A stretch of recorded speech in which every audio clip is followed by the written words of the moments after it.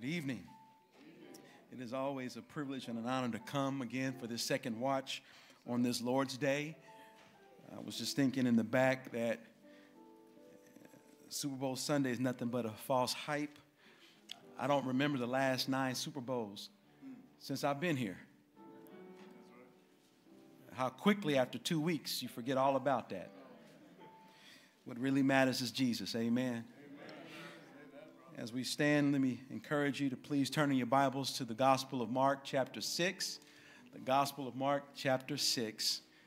I'm reading from the New American Standard Bible translation. If you can please follow your copy of God's Word. The Gospel of Mark, chapter 6. We'll be reading from verse 1 to verse 6. When you have arrived, please say amen. The Word of God reads as follows Jesus went out from there and came into his hometown, and his disciples followed him. When the Sabbath came, he began to teach in the synagogue, and the many listeners were astonished, saying, Where did this man get these things? And what is this wisdom given to him? And such miracles as these performed by his hands? Is not this the carpenter, the son of Mary, and the brother of James and Joses and Judas and Simon? Are not his sisters here with us? And they took offense at him. Jesus said to them, A prophet is not without honor except in his own hometown, among his own relatives, and in his own household. And he could not do no miracle there except that he laid his hands on a few sick people and healed them. And he wondered at their unbelief. And he was going around the villages teaching. Let us pray. Father, we come tonight. Your word is pure. I pray we can all say with the psalmist in Psalm 119, verse 90, Oh, how I love thy law. That's verse 97. Oh, how I love thy law. It is my meditation all the day, not just Sunday morning, but Sunday evening on through the week. May your word be our meditation. Guide us, we pray, Holy Spirit. In Jesus' name, amen. May be seated.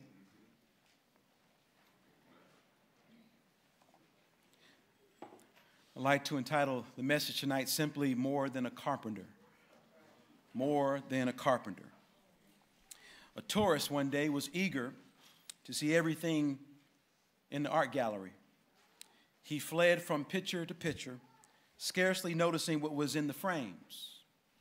At the end, he said to one of the guards as he left, I didn't see anything very special here. The guard replied, Sir, it's not the pictures that are on trial here, it is the visitors.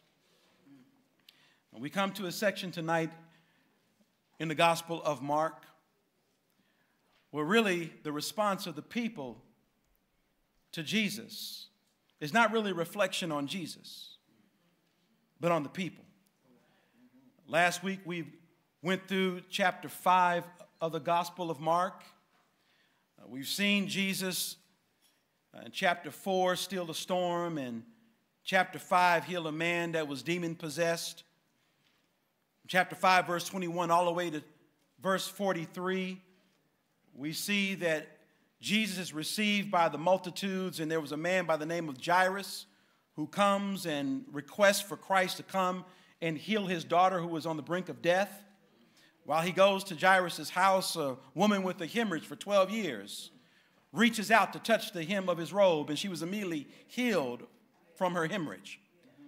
Bible says that when Jesus came to Jairus' house, he just reached out and laid his hand on his daughter and said, Talitha cum, little girl, arise. And she got up immediately, began to walk. Uh, you can refer to the last section of Mark chapter 5 as the reward of faith. That, that Jesus rewards those who trust in him. It says in Hebrews chapter 11, verse 6, that without faith, it's impossible to, to, to, to please him. For he who comes to God must believe that he is, and that he's a rewarder of those who diligently seek him. But as we transition in from chapter 5 to chapter 6, there's a different crowd that we see in this section. Uh, this is a crowd that, that like that man running through the art gallery, looking at the pictures and said, There's nothing really special here, we see the response of the people that Jesus preaches to in the city of Nazareth. They're like that man, and yet they fail to realize that Jesus is not the one that's on trial. It's the people. Well, you can entitle this section of Mark chapter 5, Mark chapter 6, the rejection of unbelief. We go from the reward of faith in chapter 5 to the rejection of unbelief in chapter 6. You'll notice in your bulletin tonight we have an outline. This outline reads as follows Two honors, two honors that belong to Jesus that every human being will one day acknowledge. The first honor that belongs to Jesus, that one day every human being will acknowledge, is Jesus is more than a man, he is God. It takes in verse 1 to verse 3. Jesus went out from there and came into his hometown, and his disciples followed him. He went out from there. He went out from Capernaum. That's where Jesus has been uh, primarily teaching and preaching throughout most of his three year ministry. Uh, Capernaum was his, his place of operation. Uh, after he is baptized by John the Baptist in the Jordan River, he returns to Nazareth and preaches. They reject him there. Then he goes to Capernaum, where, where, where Peter and Andrew and James and John reside, and, and he begins to make his home base there. Capernaum is the place where he calls his first disciples Peter, Andrew, James, and John. Is the location where he did all of his miracles and his teaching and his preaching. This is the location where Jairus' daughter was raised from the dead. This is the location where the lady with the 12 year hemorrhage was healed immediately. And as we come to the end of chapter 5 and come over to chapter 6, verse 1, the text says he came out from there referring to Capernaum, and came of himself into the country of his own or his own hometown. Jesus leaves Capernaum, travels 20 miles southwest to Nazareth, literally his father's town. This is where he was raised. Uh, this is why he was referred to as Jesus the Nazarene throughout the gospel records, not the book of Acts. This is where he was from. And he comes back to Nazareth, this small village. Uh, there's this obscure town that's not even mentioned in the Old Testament, a town of about 500 residents. He comes into this place for the last time. This is Jesus' second and final visit to Nazareth. Just to give you a little bit of a, a background here for context sake, about 10 months to a year ago, after Jesus received the Holy Spirit in the sense of the anointing of the Holy Spirit, and he was compelled to go out to the wilderness to be tempted by the devil for 40 days and 40 nights, it says that he was full of the Spirit. And he overcame the temptations of the devil. And then it says in chapter 4 of Luke that he came back to Nazareth in the power of the Spirit. And, and, and when he came back to Nazareth, he came to the synagogue, the text says, on the Sabbath, as was his custom.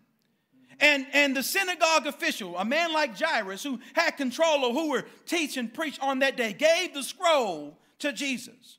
Jesus opened the scroll up to Isaiah chapter 61, verse 1 and 2a, and it read, The Spirit of the Lord is upon me, for he's anointed me to preach the gospel to the poor. He has sent me to grant release to the prisoners and to proclaim the favorable year of the Lord. And then he closed the scroll, sat down, and said, This scripture has been fulfilled in your hearing. That means, in other words, I'm the Messiah. I'm the one of the Old Testament that you've been waiting for. The Spirit of the Lord is upon me. He has sent me to preach the gospel. What's the gospel? He sent me. And the people looked and they were speaking well of him. And they say, Is this not Joseph's son? Luke 4 22. And then Jesus says, uh, You're going to quote this proverb to me Physician, heal yourself. Whatever we heard was done in Capernaum, we want you to do here. And then Jesus says, A prophet is not welcome in his own hometown. In other words, since you will not receive me as who I am, the Messiah, I will perform no miracles before you. I'm going to treat you like Elisha and Elijah did in the Old Testament, where there were many widows in the land of Israel during the time of Elijah, but he was sent to only one woman, a widow, in Zarephath, and he blessed her. There were many lepers in Israel during the time of Israel's apostasy from the Lord, but the Lord only sent Elisha to Naaman and healed him, a Gentile. And the folk got upset about that. They, they, they, they basically, Jesus saying that I'm not going to do what you want me to do. I'm not going to heal anybody. I'm not going to bless anybody here because you have not received me as the Messiah. Because I'm your hometown boy, don't mean you can tell me what to do. They didn't like that. They went from speaking well of Jesus to being full of rage. They removed him out of the synagogue, took him to the, to the, to the edge of a cliff to throw him off.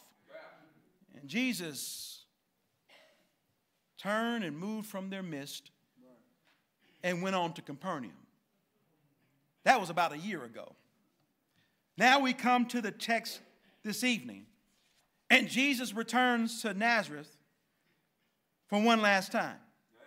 It says, and when he came to his hometown, his disciples also followed him.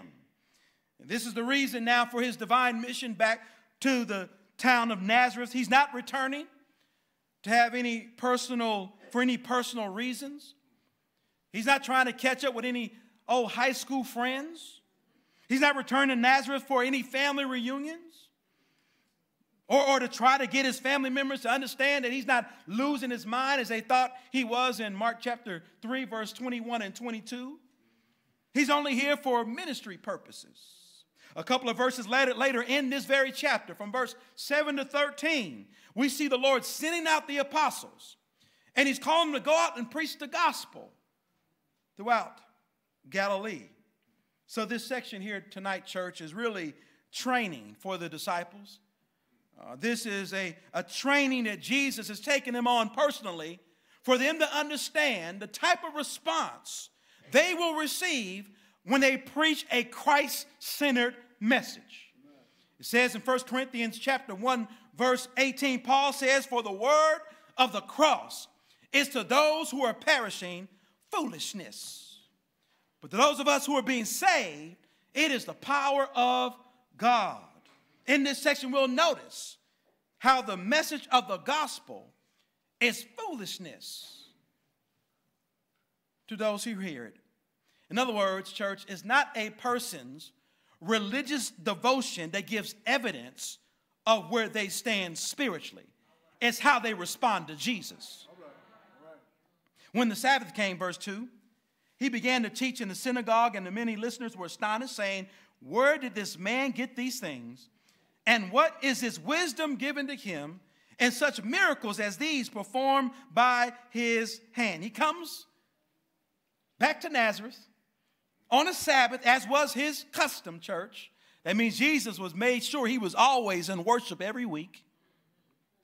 And, and by the providence of God, he was granted by the synagogue official an opportunity to preach the word on that day after being rejected by that same congregation a year ago. The first point the disciples are to understand is that if the Lord has called you into the ministry, He will provide an opportunity to, for you to preach His word. And you shouldn't be concerned about what people think, but only to preach and proclaim His truth. This was a, an act of divine grace. Jesus returns to the place where he was rejected by his own people, and God gives him another opportunity to receive salvation. Jesus did not allow his heart to be closed towards those who rejected him. As he's preaching, as, as he's breaking forth the word of God, the text says that many listeners were astonished. They were literally blown away They were mesmerized by Jesus. And they began to ask the question where did this man get these things? And where's the wisdom given to him and, and, and, and, and, and such miracles as performed by his hand? What source did this one get these things? They know that Jesus was not uh, raised as a rabbi, he was a carpenter. He didn't go to the seminaries down in the south in Jerusalem. He, he didn't go to the schools with the Pharisees. That, that he wasn't trained in that way. He was just an ordinary man growing up among them for 20 years, that those hidden years of Jesus' life prior to his ministry at the age of 30. And they want to know what, what's the source of these things? The insight that he has into the scripture, the wisdom to articulate the scripture and apply it, the power to perform miracles. And yet, ironically, he had already told them over a year ago he's the Messiah, but they refused to believe that. They were actually listening to God preach his own word in human flesh. Where's his wisdom? Where'd it come from? And such miracles as these performed by his hand. These miraculous powers are issuing forth from his hand. They refused, church, to receive him as the Messiah. In their minds, Jesus was no different than them, possibly even less than them. Notice what they say in verse 3 Is not this the carpenter, The son of Mary, brother of James and Joses and, and Judas and Simon? Are not his sisters here with us? And they took offense at him. That they began to scale back and give what they thought were legitimate reasons to discount his messiahship in light of the full revelation of his wisdom, knowledge, and power. They said, Is this the carpenter? And in fact, literally, is this one the carpenter? It's, it's, it's not is Jesus the carpenter, but is this one? A sense of disdain. It's a, a derogatory address. This is a condescending notion that they give towards Christ. It's almost like he's a nobody. To say this one is he's a nobody. Now we know that the residents of Nazareth had the reputation outside of their town of being nobodies. We know in the Gospel of John, chapter 1, verse 45 and 46, Philip came to Nathanael and said, We have found the one, Jesus Nazareth, who Moses talked about. Nathaniel says, Can any good thing come out of Nazareth? I mean, outside of this village, everybody looked down on Nazareth. It would be, technically speaking, in the ancient world, Nazareth would be considered a ghetto. Nothing good comes out, they think, a ghetto. And yet it's interesting. Everybody outside of Nazareth looked down on the folk in Nazareth. You would think the folk in Nazareth would not, would not look down on each other. They would treat these, each other a different way, but they treated Jesus as if he was a nobody. He's a carpenter. the word carpenter, tekton, is where we really get the word in our English, technician. It, it, it refers to someone who's a skilled workman, a craftsman, a, a builder, someone who takes materials like wood and stone and, and, and makes great things. And, in fact, the historical background in Jesus' early childhood, there was a, a place about, about three miles from the village of Nazareth called Sepphoris. And Sepphoris was a Roman uh, location. It had been destroyed by the Romans. And it's believed uh, by some historians that Jesus and Joseph went there and helped build up that place. Uh, Justin Martyr, uh, who came after John the Apostle died, made a statement that Jesus was one who had made plows and, and yokes. There's another person who, in John uh, Oswald Sanders' book, The Incomparable Christ, stated that there was one in a, there was only one shop in Nazareth where benches were made to stand on four legs and doors to pin and shut properly, and no second-rate work ever left his bench, referring to Jesus. That means any work that Jesus did as a carpenter was good. Why? Because he was more than a carpenter. Isn't it fitting? Isn't it interesting that the earthly trade that Jesus Christ would have would be one who made things with his hands? Because the one that made things with his human hands had already made things by his divine hand in the Bible. It says in John 1 1, in the beginning was the Word, and the Word was with God, and the Word was God. Verse 3 All things came into being by him, and apart from him, nothing came into being.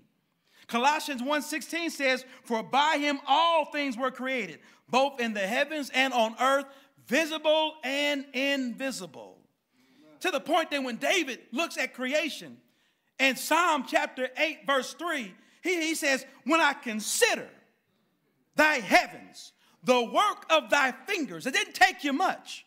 The moon and the stars thou hast ordained. What is man that you would take thought of him? That when you look at creation, you see the handiwork of Jesus It says in Isaiah 40, verse 12, Who has measured the waters in the hollow of his hand, and marched off the heavens by the span, and calculated the dust of the earth by measure? He is more than a, car- a carpenter. He is creator. Isaiah 48, verse 13, Surely thy hand founded the earth, thy right hand spread out the heavens. When I call to them, they stand together. The Lord even had to tell Job, Where were you?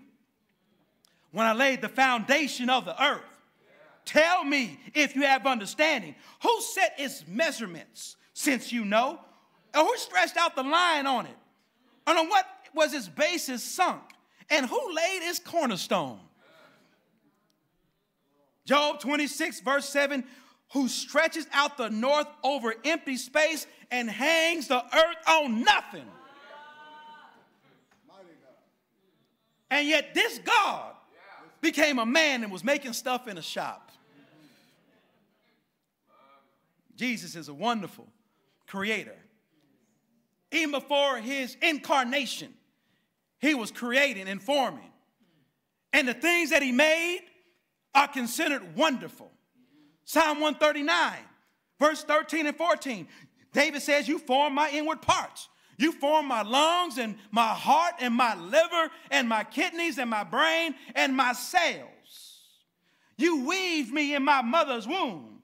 I will give thanks to thee, for I'm fearfully and wonderfully made. When God made you, when God the Son made you, He said, You're wonderful. Everything that He makes, even in His incarnation, when it comes to redemption, is wonderful.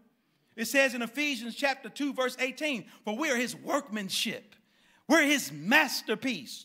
That God would take a sin. See, the wonderful thing, as one person said, is not, is not the beauty of the fact that God can create a universe out of nothing. That's remarkable. What more remarkable than that is that God can take a sinner and fashion that sinner into a saint.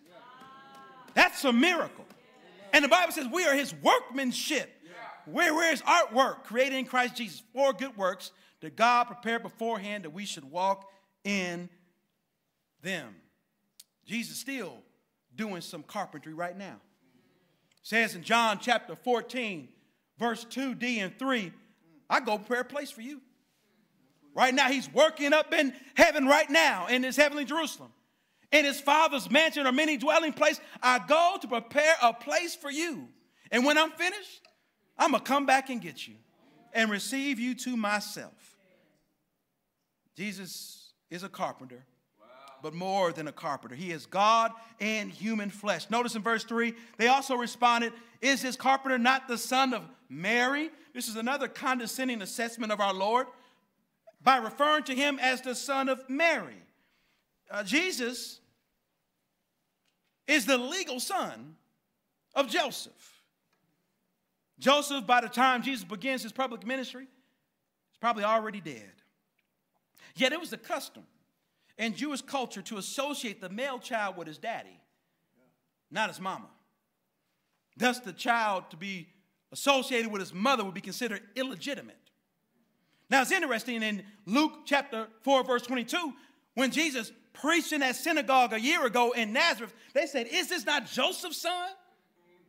But now that he won't do what they want him to do, they say he's Mary's son. Isn't that something? As it to insinuate, we don't really know who his daddy is. And this is their mis or this distortion of the virgin conception. It says in John 8 41, Jesus says to the Jews, You're doing the deeds of your father. They said, We're not born of fornication, as to insinuate Jesus was. We have one father, even God. So the statement, son of Mary, was derogatory in nature. That yet they failed to see that Jesus is the son of Mary in the sense that he was conceived by the Holy Spirit in Mary's womb. This was the virgin conception. Jesus did not have two human parents, but the Holy Spirit placed the holy seed in Mary's womb. Therefore, he is more than the son of Mary, he is the son of God. And they continue, and his brothers, James and Joses and Judas and Simon, are not his sisters here with us? Now, now, now, this is a problem verse for Roman Catholics because they hold to the perpetual virginity of Jesus. I'm a Mary, of Mary, professional virginity of Mary. That she never had sexual relations with her husband Joseph. That she remained a virgin throughout all of her life. In fact, to avoid the mentioning of these names here, uh, a man by the name of Jerome concluded no, these must be Jesus' cousins. Epiphanius stated that no, this must be children from Joseph's previous marriage. Just made that up. But I believe it's clear that Joseph and Mary had children together after the birth of our Lord, that, that Mary would not have been married to Joseph and remain as a virgin all her life. Therefore, based on the listing of these names, Jesus had brothers and sisters. It seems clear that Mary and Joseph had at least six children together. Since Jesus was the firstborn of Mary, the first child that she had with Joseph is James, who later became the leader of the early church in the book of Acts and wrote the book of James. Joses, next born. Then you have Judas or Jude, who wrote the epistle of Jude, and Simon. Based on Acts chapter 1, verse 14, we understand that they are in the upper room as it nears the day of Pentecost, that they had believed in Jesus Christ as their Lord and Savior after their resurrection. Throughout his earthly ministry, according to John chapter 7, verse 5, they didn't believe on him. But after his resurrection, God saved them. But the point here, the naming of Jesus' mother and siblings, is to discredit Jesus' claim as the Messiah. Are you with me? Verse 3 And they took offense at him. They stumbled. The Greek, the Greek words where we get our English word scandal. They were, they, they, they utilized all of these, these, uh, these incomplete facts and, and distorted rumors. And as they put this all together, it caused them to be offended or to stumble at Jesus' claim that he was the Messiah. Am I making sense? Instead of taking what he preached and what he did with the miracles and formulate from there the evidence as to whether he was the Messiah, no, they, they took the fact he was the son of Mary and he got half brothers and sisters and they, they wanted to formulate from there. He's just an ordinary man. They didn't look at, look at his divinity as demonstrated by his teaching, wisdom, and miraculous powers. They use his human origin to discount his divine nature, and as a result, they were offended that he would even call himself the Messiah. Church, if we're not careful, we can do the same thing too. We can develop an incomplete picture from selected verses of Scripture concerning Jesus and to the extreme and say, This is who he is, to the neglect of everything else that is said about him in his word. There are those who only want the meek and lowly Jesus, but are offended by the sovereign and holy Jesus. There are those who speak only of the love of Jesus, but never of the wrath of the Lamb. There are those who delight in the grace of Jesus, but despise the judgment of Jesus. In other words, like the people of Nazareth, they want a Jesus who was on their level, not a Jesus who is infinitely above their level. They wanted a Jesus they can master. They didn't want a Jesus they can be mastered by. In this lesson, the disciples had to understand that though people might speak well of Jesus, though they might receive his miracles and his healings, they would be unwilling to receive him for who he really is. People love when Jesus blesses them. They don't like it when Jesus commands them. They want a Savior to heal them of their sufferings, not a Lord to rule over them and tell them what to do. But Jesus was not going to allow himself to be redefined by sinners. I, I, I want him as Savior, but not as Lord. He ain't going to allow himself to be redefined by sinners. And the disciples had to learn that the gospel that they preach concerning Christ must be preached without compromise. Am I making sense? It takes us to the second honor that belongs to Jesus, that every human being one day will acknowledge. It's given to us in verse 4 to verse 8. Jesus Christ is more than a prophet, he is Lord. Jesus said to them, A prophet is not without honor except in his hometown and among his own relatives and in his own household. This was a sort of an axiomatic truth that familiarity breeds contempt. That, that, that Jesus known as the hometown boy. And, and, and therefore, outside of his own hometown, he received honor. But when he went home, they looked down upon him. This is similar to what we see about Jeremiah as he's preaching to Israel, his own people. They looked down on him as he preached. Did the same with Isaiah and Ezekiel and all the prophets of old. Notice here that, that Jesus goes from he goes from the outward circle down to the inward circle. He says a prophet is without honor except in his hometown, Nazareth. Then he goes a little inward, a little bit more, his own relatives, and even his own household. He is without respect. But notice Jesus refers to himself as a prophet. A prophet is someone who's sent by God to speak on behalf of God. But Jesus was not just any prophet, he was the prophet.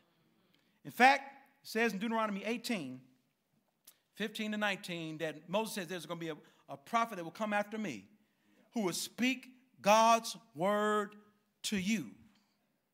This is in accordance to what you requested at Mount Horeb, at Mount Sinai, when God speak, spoke forth his Ten Commandments in the voice of thunder. You said, No, no, no, we, we don't want God to speak to us anymore.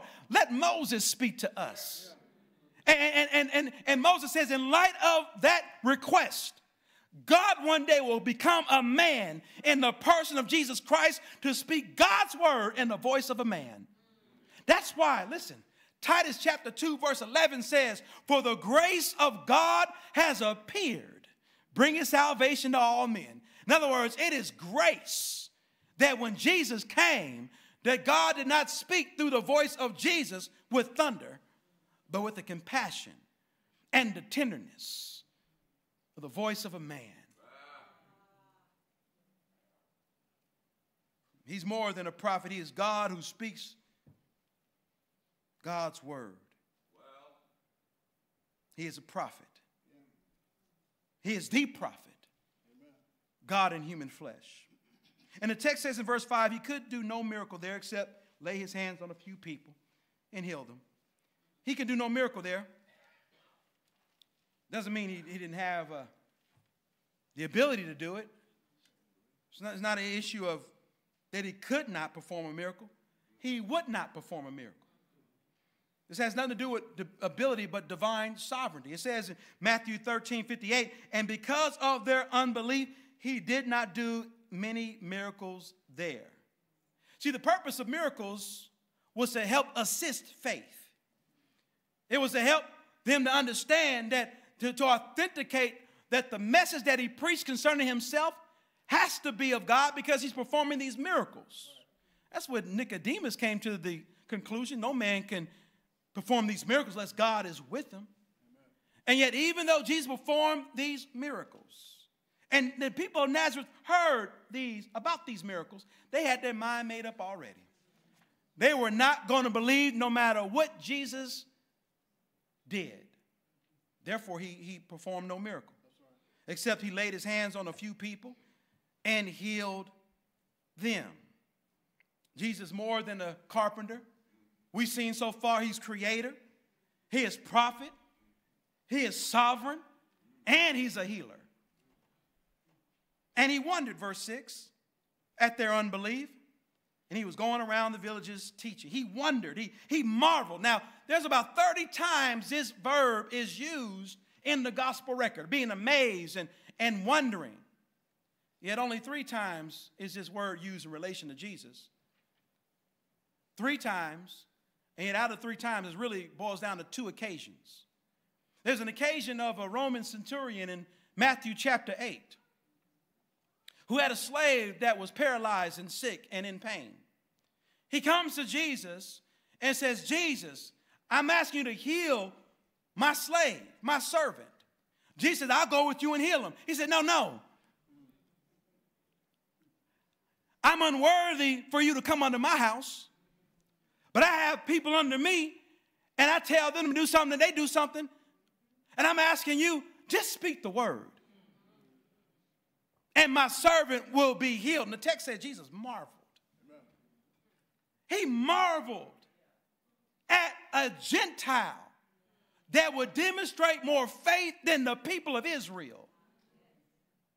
And, what we see here in this text, even with the one with the, the, the, Roman centurion, is that not everyone who is privileged with certain advantages will make full use of them. Sometimes there are those who are not privileged as others and yet receive more blessings than they do when it comes to God's kingdom. The Roman centurion believed. He didn't have the Old Testament. He wasn't involved. His ancestors were not involved in the miracles of Christ or God over Israel. Rahab believed in Joshua chapter 2. She didn't even see a Red Sea parting. And yet those who saw it still remain unbelieving. And there's a sense, church, like the people of Nazareth, that, that, that, that we can be privileged to be in church all our lives. Privileged to be under the sound preaching of the word every week and take it for granted. While those who have never been in such a setting, who God brought out of false teaching, hear the word of God in truth, and you see them up in the first row praising God every Sunday because they realize what they've been bought out of. Y'all not hearing me tonight? We, we can scoff at, at, at, at, evening service because it's all that you know. Familiarity breeds contempt. And not considered an honor to have the word preached over and over again for 157 years in this place. And I say this in honor because I'm privileged to be in a church that loves the truth. People today are still listening to Elder Ward sermons. People today are still talking about Pastor Baker and Pastor Johnson. Why? Because they, they, they, they, they appreciate the truth of the Word of God. And yet we could be here and just not even trip over it no more. You know, Jesus marveled here. Let me give you something about unbelief as I close. Unbelief is the sin of being unwilling to act upon the privilege God has given you of being exposed to the knowledge of Himself. Unbelief is like that being unwilling to take advantage of the privilege to be exposed to the gospel.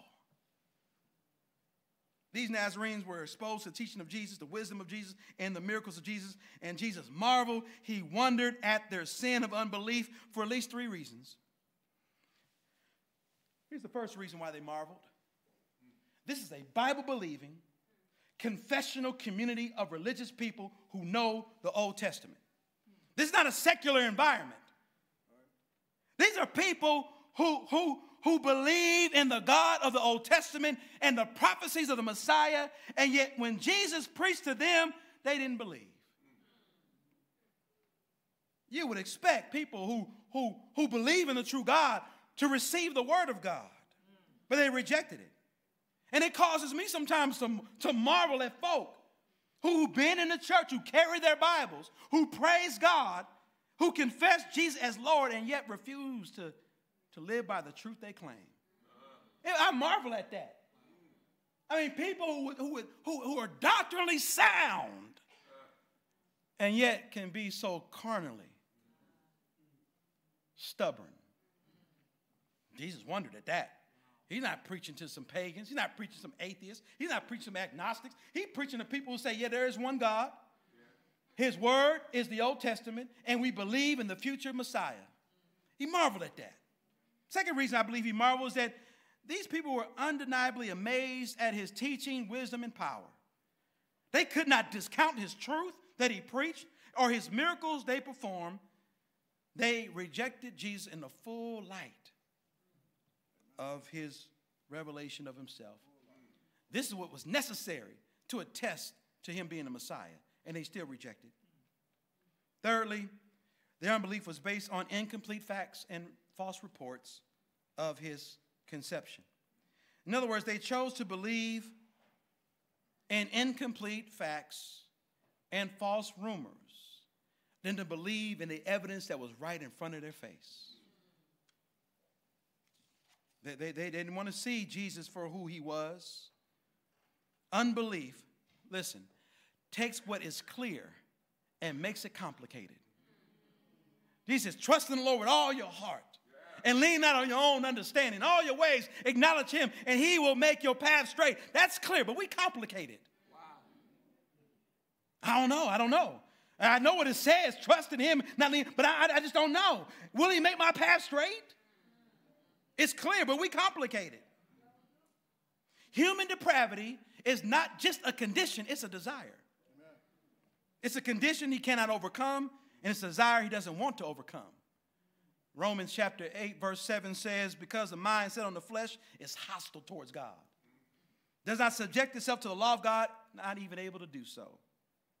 Yet Jesus, for the last time, and as a lesson to his disciples, he comes to Nazareth and he preaches the word of God, and they see his miracles, and yet they still remain unbelieving. Jesus wondered, and then he left, never to return to his own hometown. He went throughout the villages teaching the word. Jesus is more than a, car- a carpenter, he's God. Jesus is more than a prophet, he is Lord. And let me tell you as I close every human being that has ever existed will one day, I don't care what they feel, they will have to bow the knee and say, Jesus Christ is Lord. Jesus' great, great, great, great granddaddy called him Lord. In Genesis 22, Abraham at Mount Moriah says, The Lord will provide a sacrifice for himself. To the point that Jesus said in John chapter 8, verse 56, Abraham rejoiced to see my day. David, Jesus' great, great, great grandfather, called him Lord. Psalm 110, verse 1 The Lord said to my Lord, Sit at my right hand to make thy enemies a footstool for thy feet. James, the brother of Jesus, called him Lord. James 1 1, James, a bondservant of God and of the Lord Jesus Christ. Jude, in verse 3, called Jesus Master and Lord.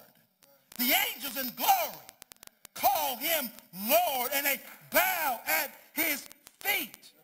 The Bible says in order to be saved, you got to confess him as Lord. Whoever call on the name of the Lord shall be saved.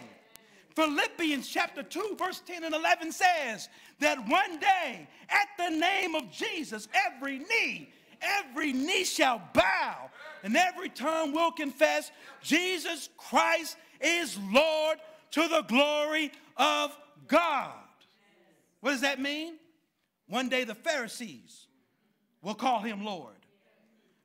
The Sadducees will one day call him Lord. The residents of Nazareth will one day bow down and call him Lord. Our president one day will bow down and call him Lord. The House of Representatives one day bow the knee and call him Lord. The U.S. Senate will one day bow the knee and call him Lord. The governor of Virginia will one day bow the knee and call him Lord. The mayor of Lexington will one day bow the knee and call him Lord. Louis Farrakhan will one day bow the knee and call him Lord. Hindus will one day bow the knee and call him Lord. Buddhists will one day bow the knee and call him Lord. Jehovah Witnesses will one day bow the knee and call him Lord. Muhammad will bow the knee and call him Lord. Every knee shall bow.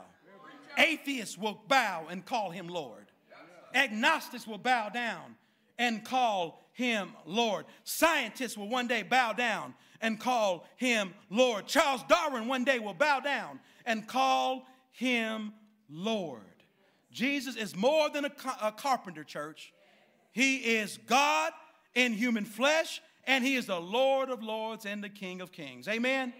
Amen. Amen.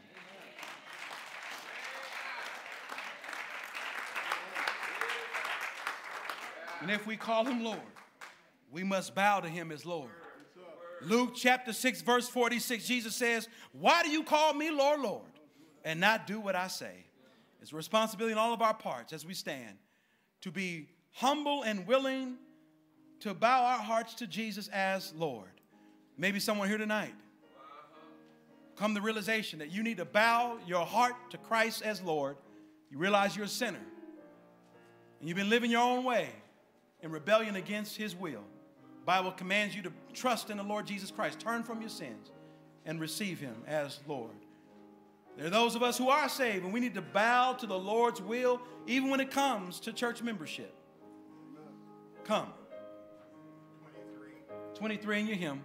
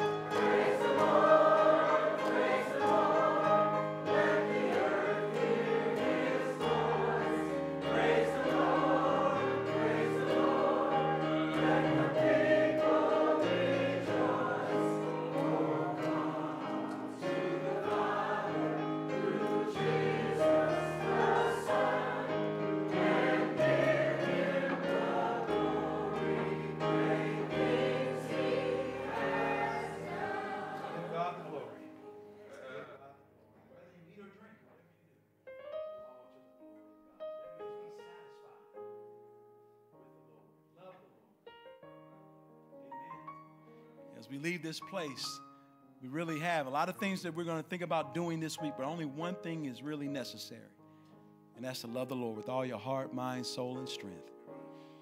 As we gather for our closing benediction, a reminder this coming Wednesday will be our noon and evening Bible study in light of the UK uh, basketball game. Our men's ministry breakfast will be this coming Saturday at, at uh, 9 a.m. in the main sanctuary, so please be aware of that. Amen. Amen. Let us pray. Oh, Father, we bless and thank you for sending your Son Jesus, our perfect prophet, priest, and king. We will one day see him, and we will bow the knee and worship and proclaim with joy Jesus is Lord. We thank you for saving us, Lord. We could be just like the people of Nazareth, so much exposed to your word, the full revelation of your truth contained in Scripture, and find excuses and reasons not to believe it. Oh God, I thank you for yanking us out uh, by your grace and mercy giving us a heart, taking away the heart of stone and giving us a heart of flesh to receive Christ. Help us to walk with Him this week. Now, unto Him who is able to do exceedingly and abundantly beyond all we can ever ask or think, according to the power that works within us. To God be the glory in the church and in Christ Jesus, from generation to generation. Let the church say,